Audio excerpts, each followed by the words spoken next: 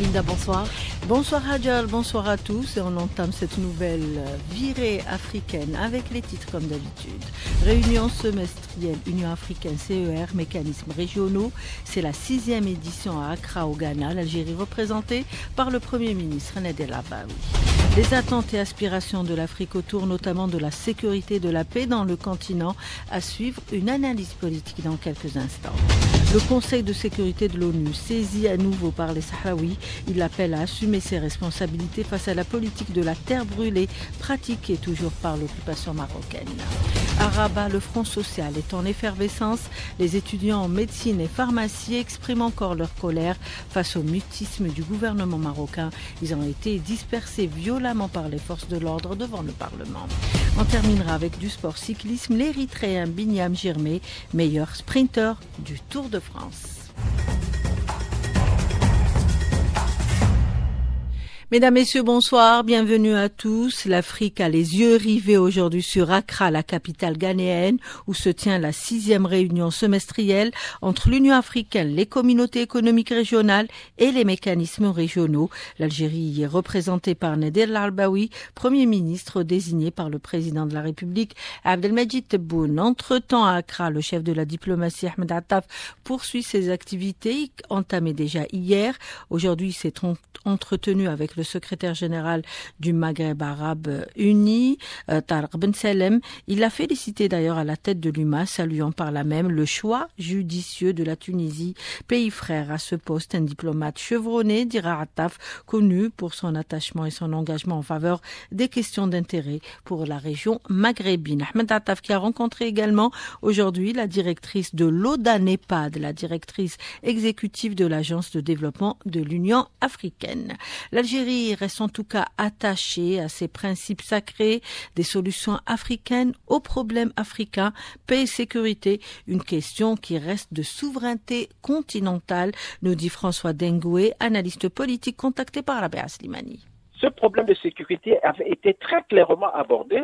Cette charte date de 1961 et ce problème de sécurité avait été très très bien abordé avec la création d'un haut commandement militaire africain. Et du coup, si vous abordez le problème comme ça, vous posez la question de la souveraineté. C'est-à-dire que vous, Africains, vous dites, nous allons assumer nous-mêmes la sécurité sur notre continent, ce qui vous oblige à avoir des ressources humaines, à avoir des ressources logistiques, à avoir des ressources financières pour assurer ce Quant à la clause relative à la participation de l'Union africaine au G20, le chef de la diplomatie Ahmed Attaf a insisté depuis Accra sur l'adhésion du continent au G20 en qualité de membre permanent et se veut un acquis précieux et stratégique quelle sera cette voie? Comment seront organisés les mécanismes pour qu'au sein du G20, l'Afrique s'exprime d'une seule voix? Il y a plusieurs pays qui ont des intérêts parfois très très divergents. Comment s'accorder pour que la voix de l'Afrique arrive? Les affaires du monde aujourd'hui et surtout dans le monde après la guerre en Ukraine et après le génocide qui est malheureusement en train de continuer à Gaza, nous entrons dans un monde où la géopolitique sera prépondérante et ce monde ne sera plus comme le monde d'avant. Donc il faut maintenant se placer en position d'avoir une force militaire. Si l'Afrique veut entrer le G20, l'Afrique devra consolider son unité à l'intérieur et cette unité doit se reposer sur ce que nous appelons le triangle de souveraineté, à savoir qu'il faut qu'elle se constitue économiquement un bloc économique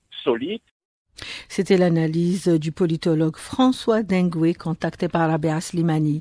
Le président de la Douma de la Fédération de Russie, Vyacheslav Viktorovitch Volodine, est attendu demain en Algérie, une visite qui apportera un nouveau jalon aux relations entre les deux pays, notamment au niveau parlementaire. La Russie, qui a pris la présidence du Conseil de sécurité ce mois de juillet, son représentant a de suite mentionné la fracture géopolitique dans l'ordre mondial, l'Afrique sous Nous avons ce soir l'analyse de Adnan Limem, juriste tunisien que nous avons contacté tout à l'heure.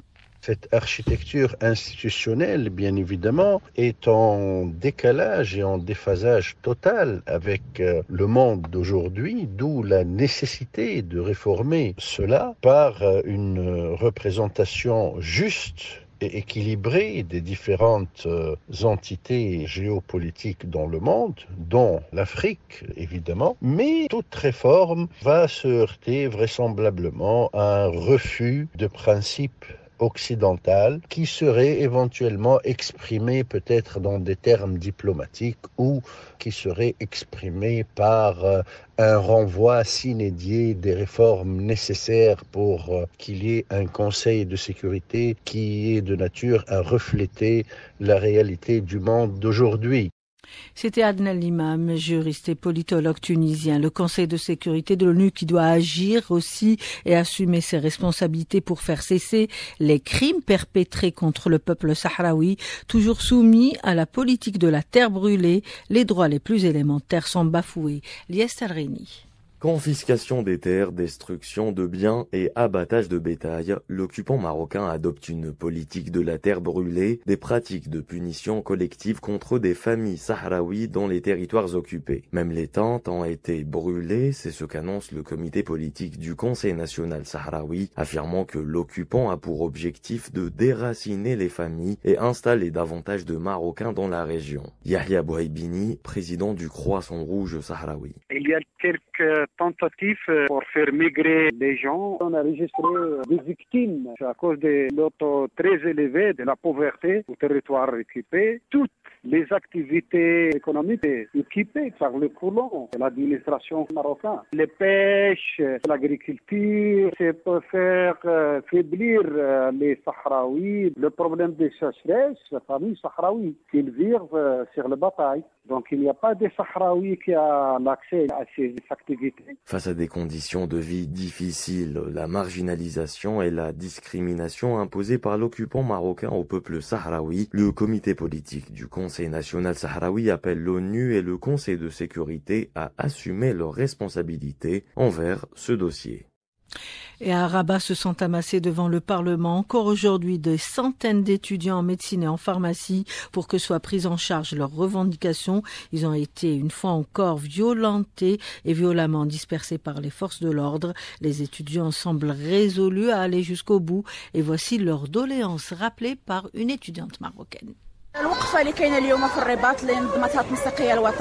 Le rassemblement qu'organise la coordination nationale des étudiants en médecine et en pharmacie aujourd'hui à Rabat fait suite à un processus militant que nous avons appelé la semaine de la colère. Ce rassemblement à Rabat réunit toutes les facultés avec un grand nombre d'étudiants pour répondre à la politique du mépris et de l'ignorance. Les autorités ignorent les propositions que nous leur avons présentées alors que les sept étudiants sont en grève depuis sept mois. Ils ne demandent qu'une chose, plus de moyens, car nous sommes étudiants dans des conditions inimaginables. Presque 100% des étudiants sont en grève. Ils ont fait grève pendant la première et la deuxième session des examens. On craint l'année blanche, mais la réponse est entre les mains des autorités. De toute façon, nous restons ouverts au dialogue.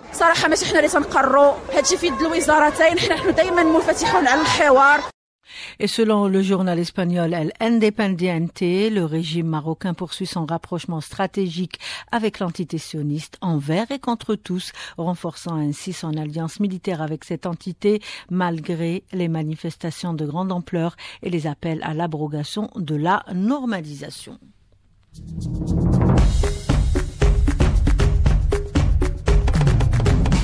L'Afrique en bref, c'est d'abord la Tunisie en prévision de la présidentielle du 6 octobre. 84 candidats potentiels ont déjà retiré des formulaires de parrainage d'après une nouvelle liste dévoilée aujourd'hui par l'instance supérieure indépendante pour les élections. Après huit ans de suspension des relations diplomatiques entre le Soudan et l'Iran, elles ont été finalement rétablies aujourd'hui. L'ambassadeur iranien a été accrédité à Khartoum. Au Kenya, les manifestations antigouvernementales qui secouent le Kenya depuis plus d'un mois risque de détruire le pays, selon le président William Ruto, qui promet que cela va s'arrêter. Il promet de régler tous ces problèmes par des moyens démocratiques.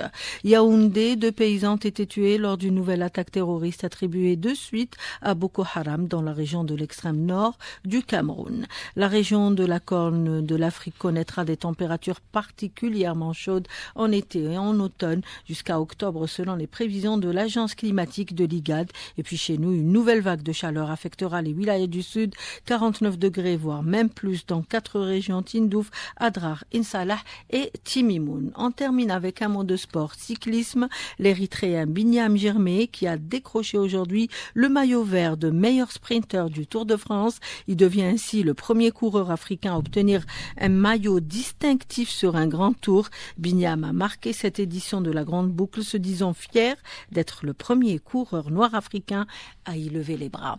Et voilà qui termine cette édition à 18h10 minutes sur les Andes d'Alger 3. Elle a été réalisée aujourd'hui bah, par Ahmed Dadou.